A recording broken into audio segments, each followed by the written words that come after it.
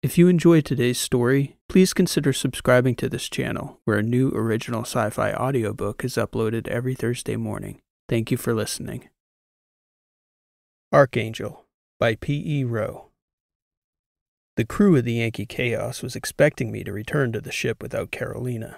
That had been the plan, but it seemed to be a bit of a surprise when I returned without Transom as well, instead, bringing this Reggie woman in his place. She didn't say all that much but I quickly got the impression that she saw everything, though, and that right fast. You're Trasp, aren't you? Soch said to her as I was making introductions in the atrium. Reggie acknowledged as much with a nod, but didn't say anything. Ah, hell, Birch. Here we go again. I know, I said. But what would we be doing if we reported back to the letters anyway, apart from giving important people rides through disputed territory? And where are we supposed to take this woman? Wren asked. I don't know exactly, I replied. She hasn't told me yet. I said she'd have to clear it with you all first. Reggie? I need passage to Rahl. It's mostly been arranged, but when we heard from Mycon about Carolina coming here, Sparrow knew he'd need another ship. And quite frankly, where we'd be going is better suited for a ship and a crew with the capability to fight our way out of a place like Rahl if the need arises. Well, if it's only mostly been arranged, I'm going to assume we'll be fighting our way in and out, Lita said. Reggie looked over at Lita for a beat and said, I think it's unlikely, but I certainly wouldn't advocate putting any of you or your ship into a position it would be difficult for us to get ourselves out of. What's this all about, Reggie? I asked her. Sparrow gave me the impression it was fairly straightforward, but I'm wondering what business Sparrow and his group have with the Trasp. Our business is to end the war, Reggie answered. It has been our business for decades. It's the only thing we do, it strikes me that all of you understand why. That's half true, Soch said, turning his head to show her the metal side of his face. What about specifics? How does our giving you a ride accomplish that? Part of the problem with this war is that the two sides have been fighting so long there's been no meaningful dialogue for decades.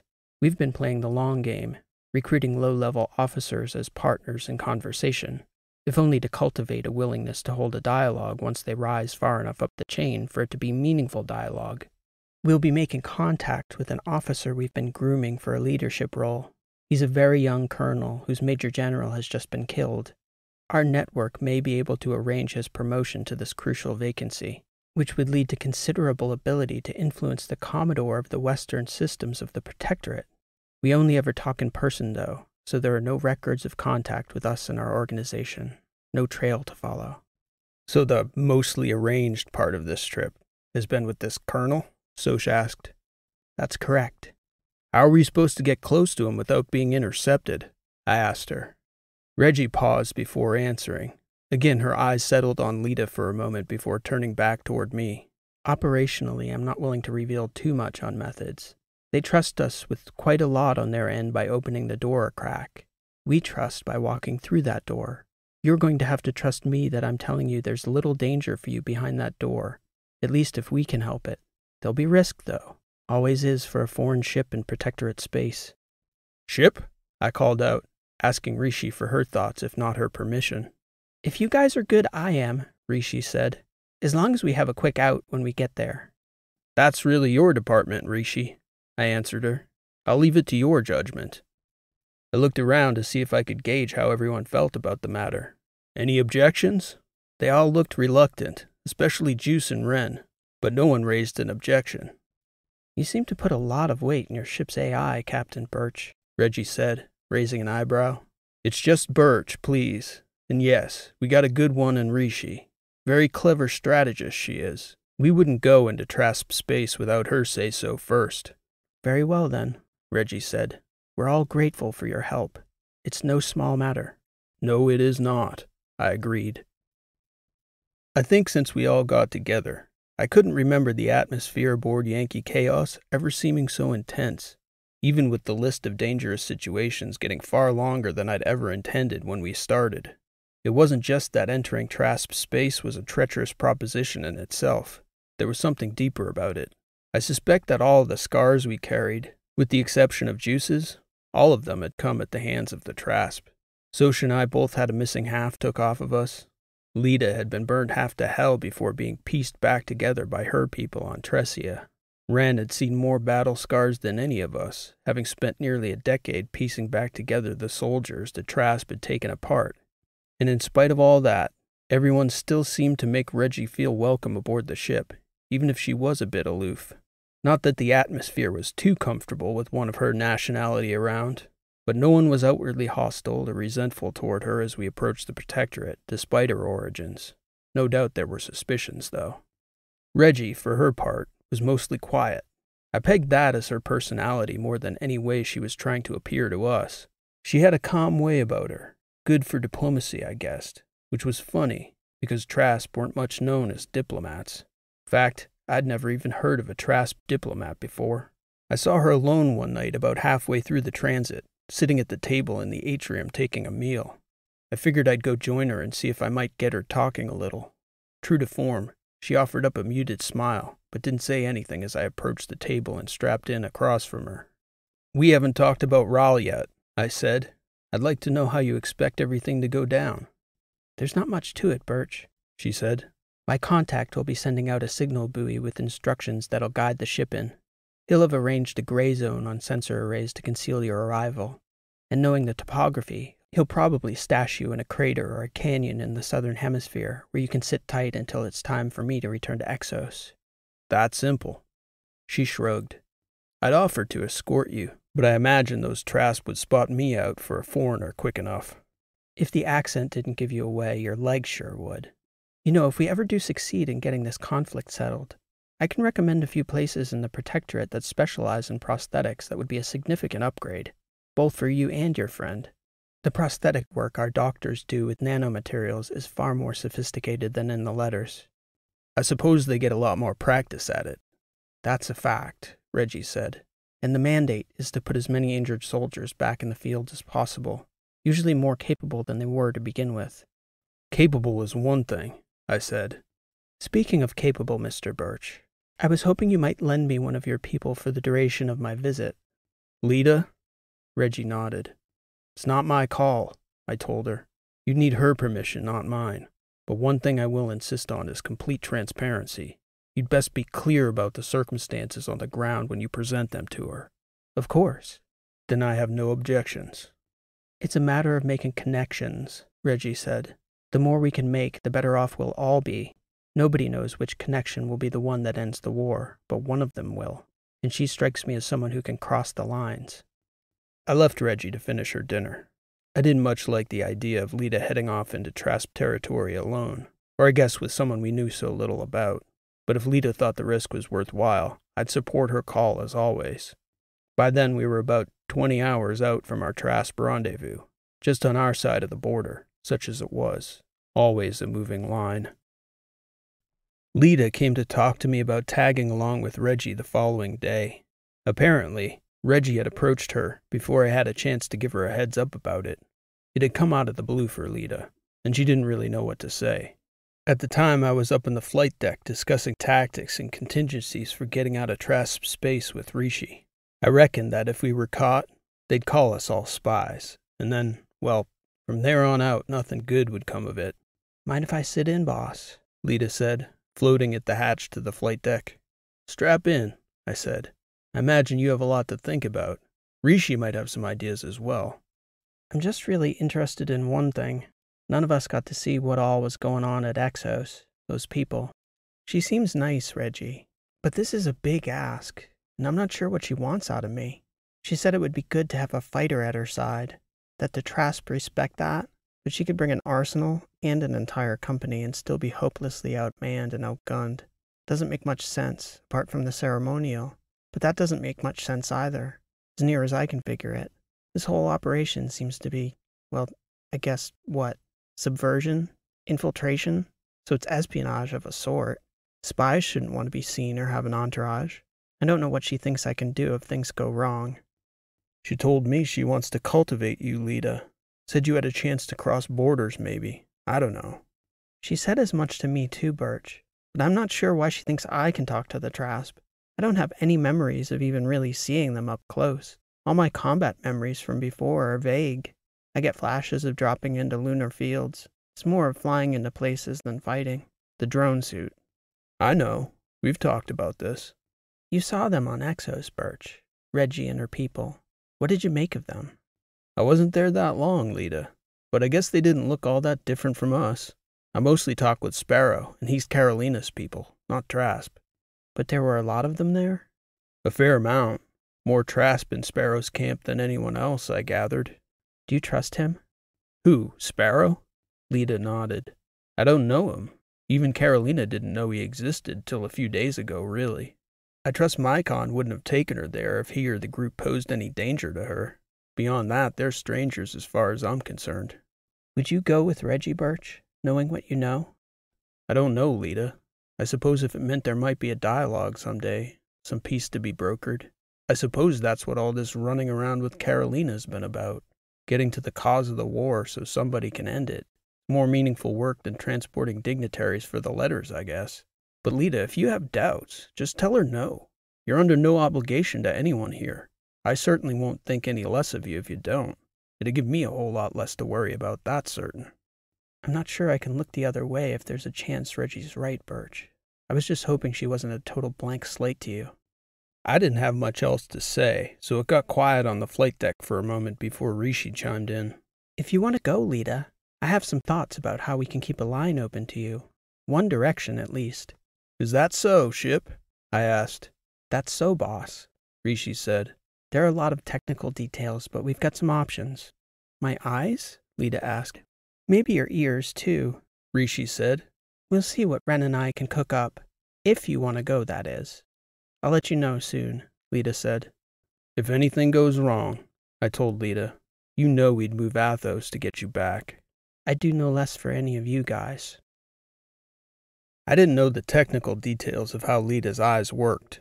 Up until then, I didn't even think to ask, really. I took it for granted that when she wanted us to get a picture, she could fly out the back airlock, fix her gaze on whatever she wanted to zoom in on, and if she was sharing it with Rishi, we could all see what Lita was seeing a sort of biological camera of sorts. Of course, things are never as simple as that, especially reconstituted eyeballs of the blended nano and biotech variety. The way Rishi and Wren explained it to us when they were prepping Lita is that the problem was range. If she got outside a hundred kilometers or so, we wouldn't be able to catch the signal. So Rishi had Juice rig up a pin repeater, and as long as Lita was able to drop it outside the meeting place before going inside, we'd have her feed. And the bonus was that Wren and Rishi had cooked up a way to piggyback an audio signal on that transmission. It wouldn't be clear, and the whole transmission would lag by half a minute or so. But as long as she got that repeater deployed, we could more or less watch the Lita show from wherever we were hiding out on the planet. Juice and Wren cooked up a microscopic, almost invisible earpiece that Wren installed in Lita's right ear canal. The Trasp would have to scan her head to know it was there, and even then, a cursory scan would miss it. Reggie had made it clear that the whole basis for these meetings was trust and good faith. She had a long relationship with this young officer she'd been grooming. So went the story. Still, Lita wanted that lifeline as much as we wanted it for her. We all agreed that none of this was any of Reggie's business. If anything went wrong, we'd have a fix on Lita, and we'd have operational intelligence from the field. She wouldn't be able to hear us, but she'd have the knowledge that we were watching and listening at all times, Rishi especially, which I suppose was more or less what we were all used to anyway. When we came up on the coordinates Reggie gave us in dead space, there was a buoy waiting for us, so she said.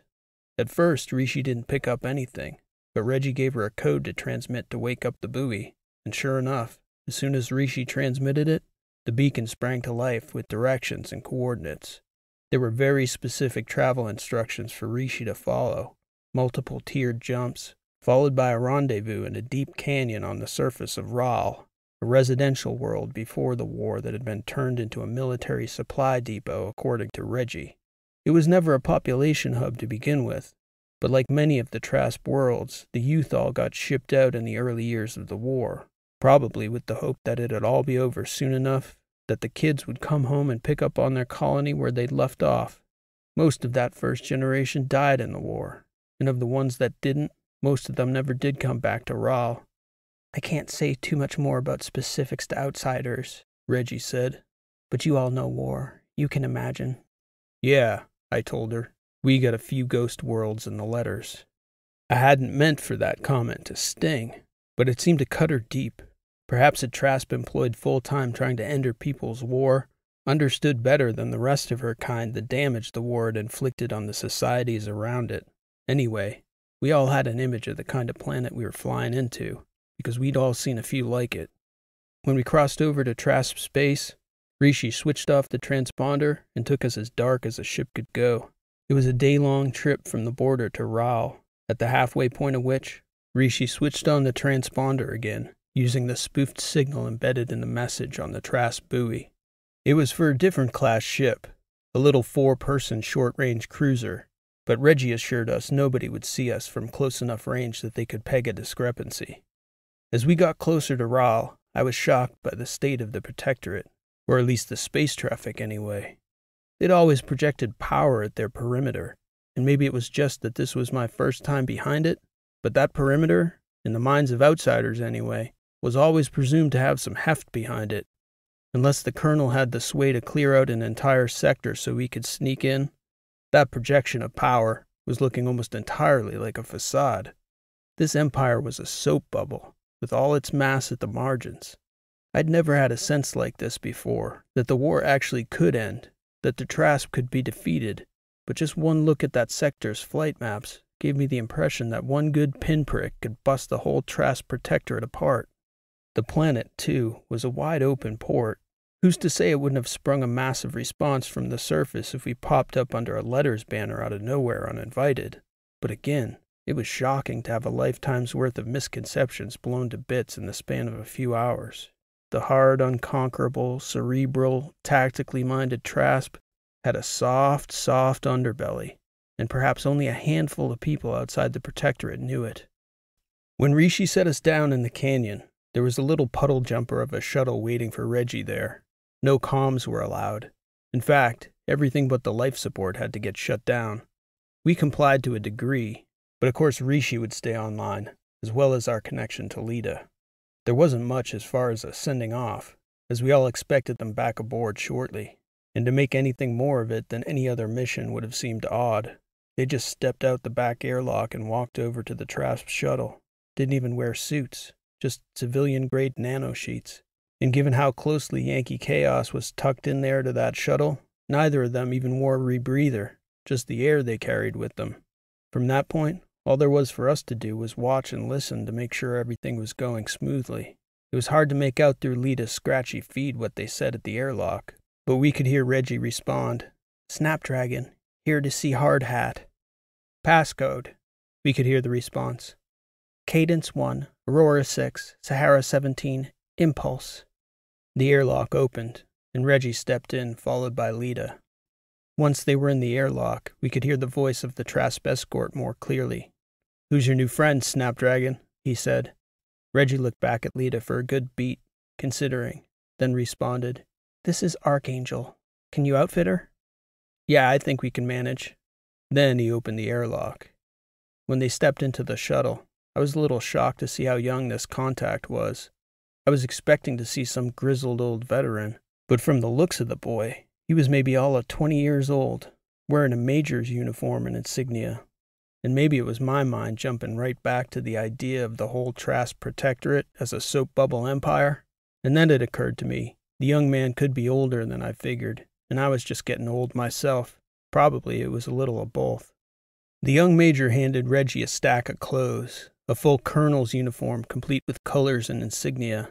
Then he disappeared for a few minutes after promising to return with a full kit appropriate for Lita, or Archangel as he called her. When he got back, Rishi played censor so Lita could get changed in private. It was a few minutes later when the feed picked back up. It was just Reggie and Lita there in that back airlock annex. You wear that uniform well, Reggie said to Lita, who turned her head and spat on the floor of the airlock. I didn't mean it as an insult, Reggie said. I did, Lita responded. Reggie didn't seem offended. Instead, there was this weird skepticism on her face, as though she knew something Lita didn't. All I meant, Reggie said, was that you're wearing the colors, bars, and arrows exactly as we would wear them. It's different in the letters. Not everyone would get that right. It's obvious how they should be worn, Lita said. And let's get one thing straight. I'm here to help you make peace between the worlds. I'm not here to make friends. I wake up in a cold sweat almost every night of my life because of the trasp. I had my eyes burnt out and every part of my skin cooked to a crisp by the trasp. If I can stop the war and make it so nobody else has to go through what I went through ever again, I'll grit my teeth and pretend for long enough to get the job done. But I will never forget who took everything from me. All of that is fair, Reggie said. It takes courage to take a step like this. Tremendous courage. When the Major returned, they put their clothes in a bag and dumped it on the ground outside the shuttle. Then they took off. We lost Lita's feed then and wouldn't pick it up until she got the pin repeater deployed. By the time Lita's feed came back, we were all nervous. None of us had expected it to be out for nearly three hours. The flight itself shouldn't have taken more than an hour, and deploying the repeater, nearly invisible as it was, should have been little trouble at all for Lita. Why it took so long for her to get it done was a mystery for another day, though, because there were no clues on the feed once it started to come in. They were already in the colonel's company by that point. The young major was with him, and the first several minutes of the feed was so poor that Rishi couldn't even interpret. But as she started to dial it in, we would get bits of words that made sense from the context, until finally, Rishi was able to discern enough to roll captions. The video was decent enough to see. The discussion was about the business Sparrow's network had come to talk to the colonel about, trying to get the colonel that promotion.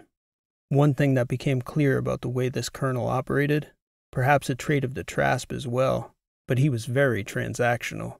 He mentioned past favors and future expectations. He made it clear that he promised nothing beyond a continued channel with Sparrow's network, even if Sparrow was able to secure the promotion for him. The Protectorate came first. What was unclear to us, as spectators to this whole affair, was how Sparrow could garner that type of influence within the Protectorate. Money, presumably, but that too wasn't entirely clear, given that Sparrow was supposedly cut off from the Dreesen family and was a distant cousin at best. I suppose, though, even distant Dreesens still had access to their share of resources, even the outcast ones, maybe. That first discussion lasted the better part of an hour. Formalities, questions, offers, and counteroffers. The situation seemed normal until the colonel set his sights on Lita. He pegged her for military from the jump, only the wrong military. He thought she was Trasp. You carry yourself like a ranger, maybe a steelhead, but you've seen real action, he said to her. How is it you were discharged, Archangel? Or were you? You know better than to breach protocols, Reggie told him. You issued the arrows yourself. Yes, I did, the colonel replied, and I expect my junior officers and everyone else that sets eyes on her to respect them which they will. But if I want to ask a question, I'll ask her a question.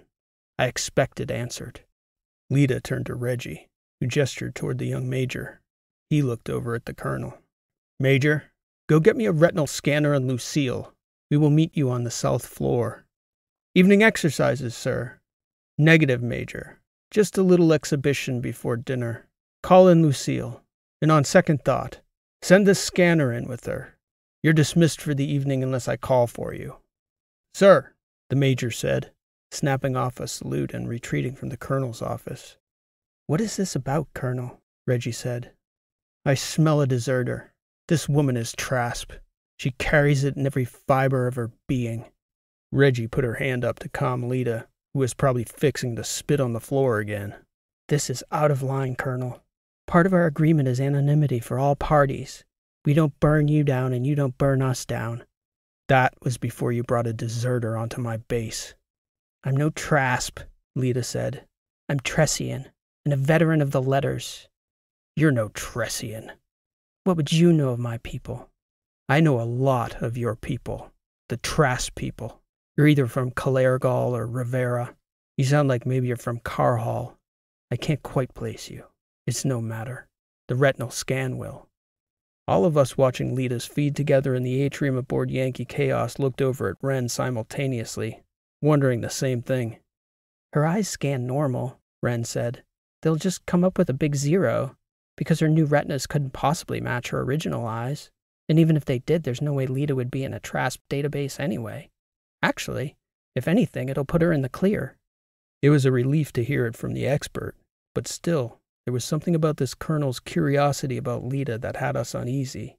I'd met people like that, especially military people, who wouldn't take no for an answer. Not much was said, either aboard Yankee Chaos or halfway across the planet where the events we were watching were unfolding. The three of them walked down to the south floor together, and though we could tell from the way Lita was scanning the rooms that she was nervous, looking back at Reggie's face a lot, she didn't give anything away in front of the colonel, and Reggie didn't say nothing either. The south floor the colonel referred to was an indoor training facility, a gymnasium of sorts, Trasp style. It was dark in there compared to the colonel's office, with colorful backlights on the walls. Looked familiar, he said to Lita. Should it? Lita answered.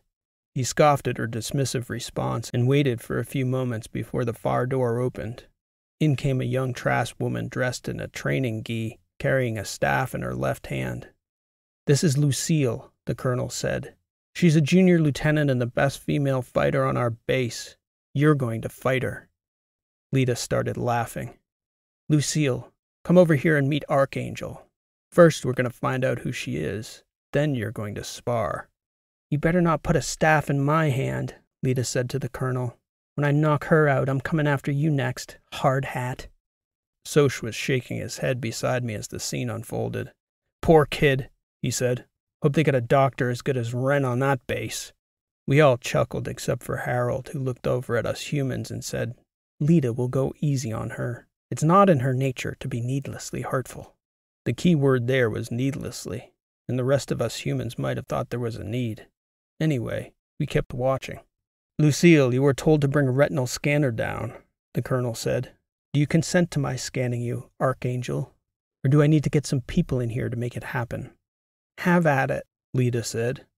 Lucille tossed the pen like implement over to the colonel, who approached Lita. A bright light lit up our float screen as he scanned Lita's eyes. There was no response from the colonel, who seemed to be looking over his shoulder, waiting for something. Praetor, he shouted, apparently to the base's AI. Negative confirmation on identity. A voice echoed through the room. As I said, Lita stated, staring over at the colonel, I'm not Trasp. Please, indulge me still, he said, gesturing toward the lieutenant. Lucille, attack her, please. Hand to hand. Lucille dropped the staff, Lita stepped away from Reggie the second the girl moved toward her. The young lieutenant's arms were up in a fighter's pose as she approached, far too fast. We could see a strike that Lita blocked and a knee to the girl's upper leg as Lita stepped behind her, uplifting the girl between the legs in the same motion. Then Lita fully body slammed Lucille to the mat so hard it sounded like the impact squeezed a death rattle out of her. Lita stopped, Poor Lucille was flat on her back, shocked and wide eyed, with her arms and legs slowly reaching out aimlessly at the air as she gasped for breath. Lita stared over at the colonel. Care to step in here, boss? He crossed his arms. When Lita looked down again at Lucille, it looked like the girl had caught her breath a little. Lita offered her a hand, and Lucille reached up, still wide eyed, breathing hard, but breathing. We spectators were laughing and shaking our heads. Lita was a proper ass kicker at baseline, and she had plenty of bio enhancements to boot. Staffs, the colonel said, taking off his outer jacket. You know how to use one, I imagine. You won't have to imagine long, Lita said, stepping over to the weapons rack and pulling down a black polymer staff, casually spinning it like a fifth appendage, testing the weight of it, or so it seemed. I was a division champion, the colonel said. You should put on a helmet, hard hat. Lita said. I can't promise I won't slip and crack your skull. I will if you do, he replied. A proper match. Lita shrugged, it seemed to us. Then she walked down to the end of the weapons rack and picked out a helmet. They padded up and then added padded sheaths to the end of their staffs. The colonel put in a mouth guard, giving Lita a look like she might want the same. You're not going to hit me, she said. Not in the mouth, anyway. Have it your way, he mumbled through the mouth guard, then they stepped onto the mat.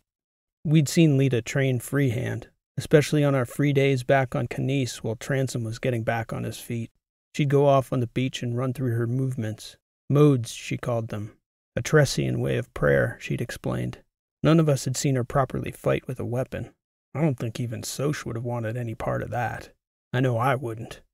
The colonel came at her. He was good. We could tell that much from the fact he wasn't cracked out cold in the first few seconds. I kind of wish we could pan around and watch her, Juice said, instead of just seeing her perspective. All the same, Wren said. I'd rather have our perspective than his.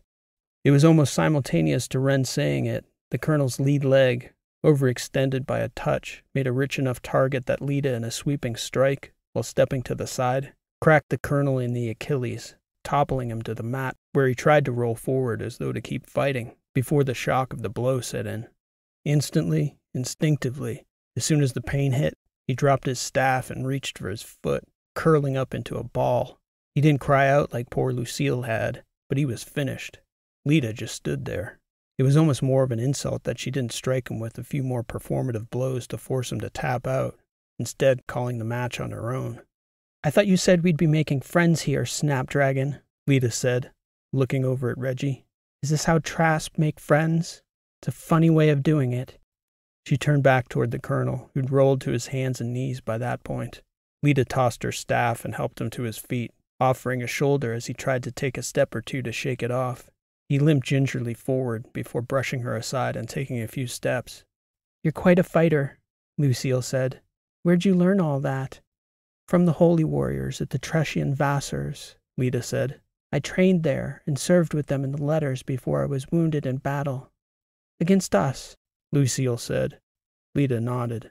I'm sorry that happened to you. Reggie looked over at Lita, tilting her head as if to say that was some progress. A Tressian holy warrior, the colonel said. First and last one I'll stand toe to toe with. I'm grateful you didn't see fit to test the helmet. You didn't stick your head out, Lita said. All the same, the colonel said. I'd like to host the two of you in the officers' mess for a proper meal. Lucille escorted Lita and Reggie to a large room that seemed to be a guest quarters. There were two beds, which was a sign that this colonel was expecting the stay to go a bit longer than we had all bargained for. Given the circumstances, though, there wasn't much any of us could do but let it play out and hope for the best. After Lucille left them, Reggie turned to Lita and said, Watch what you say, because we are almost certainly being recorded in here. That's a fact, Lita responded, eliciting a dull laugh from all of us. You shouldn't have hit him so hard, Reggie said. I had no idea what you were capable of, but I figured you for smarter than that at the very least. It was a love tap. I could have snapped a tendon if I wanted to hurt him. That love tap might have cost us. Humbling a rising officer like that in front of one of his juniors, he's not going to forget it, and it certainly won't make him any less curious about you. I don't know what you want from me, lady. I come, I get insulted by you, by him, then thrown on the mat with a kid. For what? What was that even about? I have no idea. I suppose he wanted to see if you were trained like a Trasp warrior. Well, he got his answer, didn't he? Let's hope, Reggie said. Trasp warriors are garbage fighters. Cannon fodder. Are you listening, hard hat? Or whatever your stupid code name is? Garbage fighters. Reggie gritted her teeth. Be silent. She took a deep breath. We are guests here. We are here to cross lines, to broker discussion. And I will discuss when the time comes, Lita said. I will not be insulted. The Tressian holy warrior. I never would have guessed it. I presume that means you know how to meditate. Lita shook her head at the suggestion. Visualize a pleasant evening, peaceful conversation, holding your tongue and committing no acts of violence against the officer we've come here to befriend. Lita didn't exactly scoff at the suggestion, but it was easy enough for us to figure what she thought of that. She did meditate, though, and it was another two hours or so before anything substantive happened again. We took advantage of the lull to eat dinner and nearly broke out the sabaka sticks it was going so slow there. I got the sense among the crew of a mild optimism that the rest of this meeting would go off without a hitch. Then the colonel's dinner happened. At first, he and Reggie spent the bulk of the time discussing the specifics of their accord, the ways a relationship could manifest certain outcomes if need be. Reggie asked about the Commodore and how much influence young Hardhat could have opening up outside diplomatic channels, whether that be with Sparrow's network or a third party mediator. A lot of groundwork, it seemed. They ate, they talked, and for the most part, the colonel seemed to be ignoring Lita until the meal finished. When the all purpose bots exited after clearing the table, two pair of Trasp strike bots entered, taking up a position several meters behind the colonel.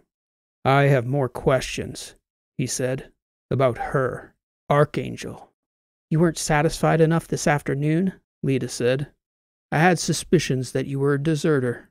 I have other suspicions now, but I know for certain you're not a Trasp deserter. I told you I wasn't Trasp. Yes, we'll get to that. I had Praetor run a comprehensive movement analysis on your fighting style, and the results were interesting. So interesting that I sent the Major back to the South Floor to retrieve your staff, Archangel, so we could run a DNA test on the staff. And, well, if your fighting style was interesting, this, this was something else entirely. You have no idea who you are, do you? I know exactly who I am. Your retinas didn't turn up anything because your eyes have been rebuilt. Am I wrong? Lita didn't respond. Those aren't your real eyes, are they? Lita didn't answer. She looked over at Reggie, seemingly to see if the older woman had any intention of intervening. It was clear from the look on Reggie's face that the situation was out of her control. Do you have memories before Kendry? Excuse me? It was the city of Maditz, on Kendry, where they found you, no? I'm guessing probably in a basement or some ground level concrete structure, buried under a mountain of rubble, half dead. Is that right? We could tell from the picture that Lita sat up straight in her seat. His description sounded exactly like what Lita had told us. What do you think your name is? That is, what name are you using, Archangel? Not on this silly misadventure of a mission this silly woman has dragged you on. I mean, with your crew out on that spaceship you parked in Ragged Canyon. What did they call you? Birch? Wren said. I put my hand up to quiet her. Lita was quiet too. Boss, Rishi said. Don't spin up, ship, I told her. If you do it now, he'll know we're on to him. And we're on a delay here. If this colonel were going to kill us, we'd be dead already. Just keep a weather eye. I kept watching Lita, who was looking around the room, seemingly extremely uncomfortable in her chair. It's okay, he said. You're not in any trouble. I told you. We know you're not a deserter. My name is Lita. That is my name. That's who I am. And you have no memories before Kendry? None? Fragments. You don't know your full name, Lita, do you? Lita shook her head. Would you like to? You have a family, you know. Do you remember? You have a brother.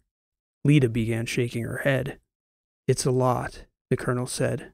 I know this is probably a shock. When I found out who you really were, Lita, I couldn't imagine what you'd been through. I couldn't believe it was you, actually. What those doctors must have done to save you on Tressia. Frankly, it was quite a shock to me. I am not. Lita didn't finish the statement. I am not. I'll give you a minute to let it sink in, Lita. You were reported killed in action on Kendry, listed among the honored dead of the Trasp Protectorate. Lita kept shaking her head. Now, as for your friend, codename Snapdragon, we had an understanding. It had something to do with coming alone. We agree to look the other way on a number of things. You don't share information on the Protectorate with Trasp's enemies. But when all these funny things started happening with our dead war hero friend here, Snapdragon, we had a satellite scan the canyon. It turns out, Regina Haas Boggs, that you brought a few friends with you on a joyride into our space. If this whole network you were cultivating with Athos's first family wasn't treasonous, escorting spies across our border certainly is. Backdoor diplomacy is one thing. Espionage, though. The letter of the law is clear there. You're just as guilty as she is, Lita said. That's true in a sense, the colonel said, but there is exactly zero evidence of anything because we only talk in person. But if I were to turn that ship out there into a flaming pile of metal, along with, I'm guessing, Lita's new friends from the letters, right? Then there'd be proof of something. Lita's eyes went right to the strike bots. I thought you might be confused about loyalties for a while, he said. So I wanted to make sure there wasn't any question about doing anything, well, questionable. I'll kill you if you hurt them, Lita said as cold as she'd ever said anything. And after I'm done with you, I'll find your family and kill them for good measure. An eye for an eye. You misunderstand me, Lita. He paused. Lita. Lida. It actually suits you quite well. It should, it's my name. What do you want, Colonel? Reggie asked. I don't want to blow up your friends, Lita. This visit was supposed to be a visit to build bridges, and I still think it can be. What do you think, Snapdragon? I am always hopeful. What I want is her. I want Lita. And then I want you to go back to your ship, to fly back to the letters and tell Sparrow that if he ensures my promotion, I will keep an open dialogue with him. I may even attempt to sway policy for him when it redounds to the Protectorate's benefit as well. When our interests align, we can be friends. But she stays. That's the price. Reggie looked at Lita. Bear in mind, Lita, the colonel said, the alternative is that I rain fire on that canyon where your friends are. I only need to say the word. I'll stay, Lita said. I'll stay. I thought you'd see reason. Reggie was shaking her head. I'll never convince them to leave without her. You're just going to have to be persuasive, Snapdragon, the colonel said, because if that ship deviates from the flight plan by a meter, I will open up on it, and Sparrow will never hear from any of us again. Do I make myself clear? Lita looked over at Reggie. The older woman was shaking her head. You knew, didn't you? Lita said. You knew what I was. Reggie shook her head. I didn't know he'd check your DNA, love, but I knew you for one of us the second I set eyes on you. You're Trasp, Lita. You carry it in your bones. At those words, things got a little heated back on the ship. Soch lashed out, and the others tried to quiet him. As confused and angry as I was, there was stuff going on we still needed to hear from that dinner table. You mean we've been flying with a damn Trasp all this time? Soch shouted. She didn't know, Wren said. Hey, I shouted over them. You were flying with Lita. Lita.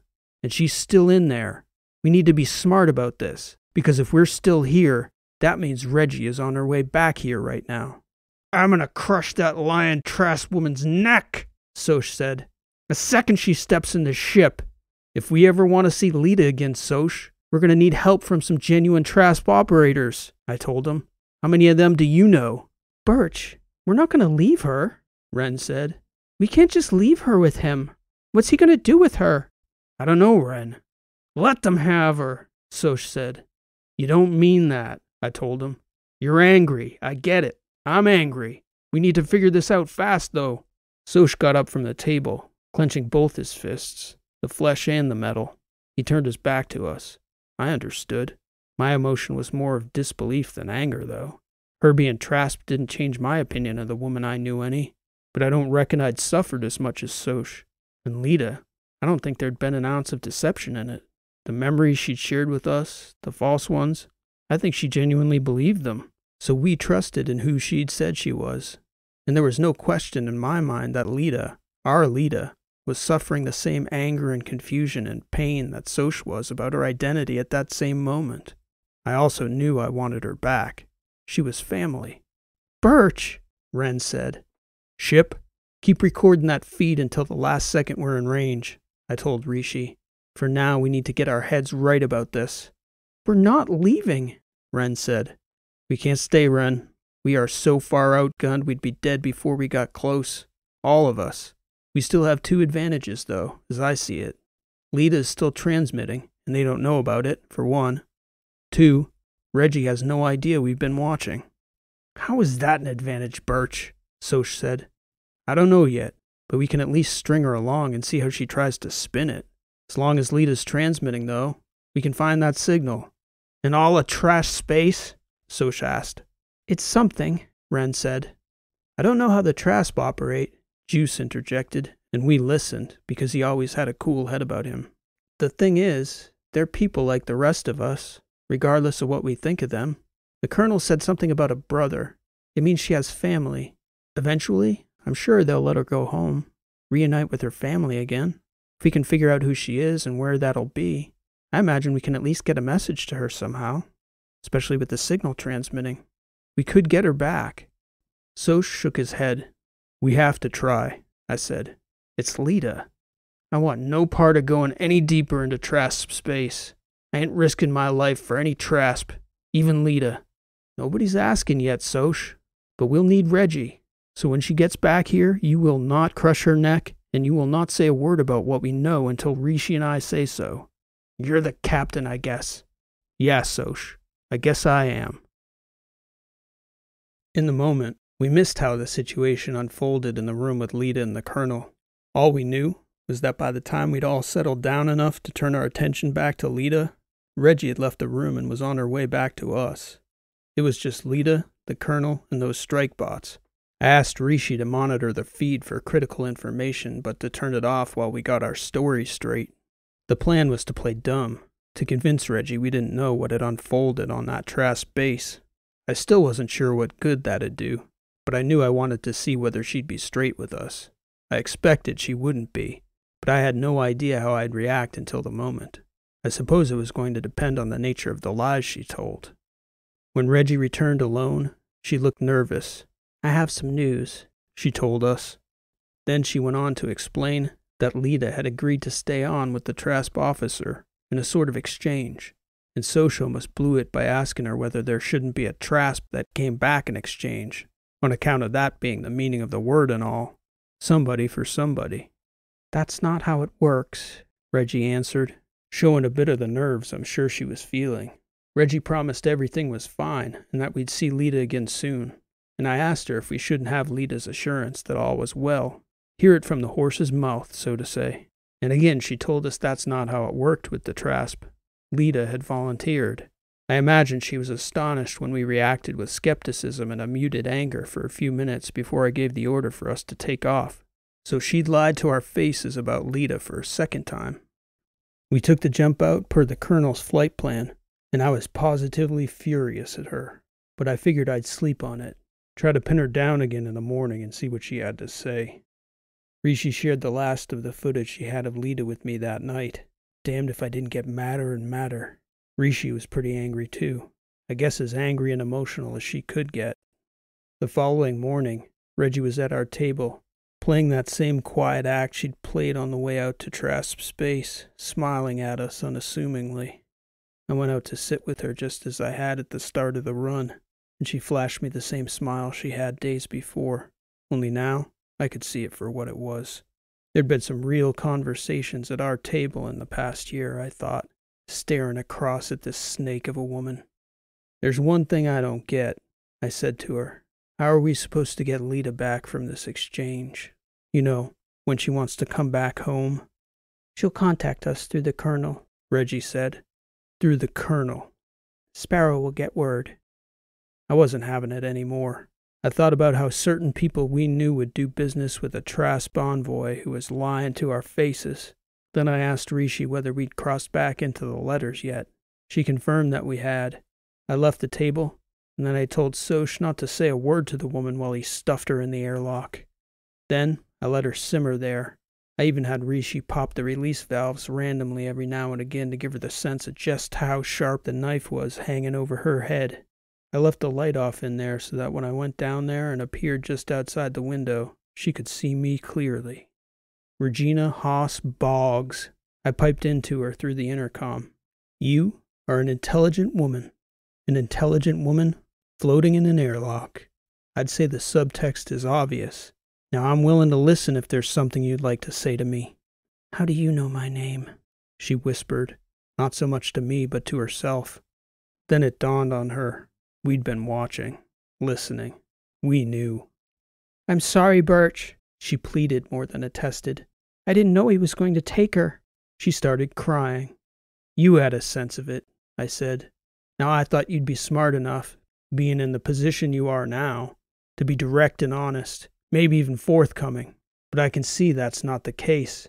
So I'm going to make this very simple and ask the questions I want answers to.